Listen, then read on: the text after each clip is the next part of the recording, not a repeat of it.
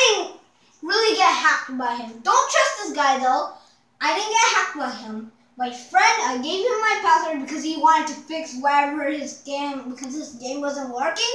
And then, then he gave my password to this guy and now he hacked me. But I got my account back if you haven't seen the last video. So guys,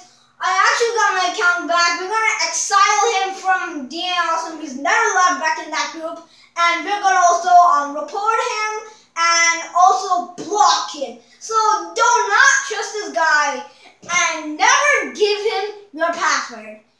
No matter what he says. Like he's gonna give you Robux and shit. Do not trust him. Never trust him. Don't even give your password if he says, "Okay, I'm gonna give you Robux." Okay, okay. Trust him, okay, guys? So, thanks for watching. Don't trust this guy. He'll freaking, freaking, freaking take your account. If you're rich, don't trust him. Don't give your account. If you're poor and you have nothing,